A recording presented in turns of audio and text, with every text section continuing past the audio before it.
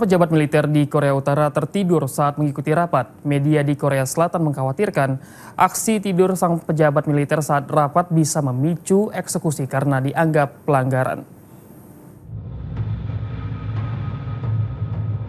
Seorang pejabat militer Korea Utara tertidur saat mendengarkan pidato dari Presiden Korea Utara Kim Jong-un.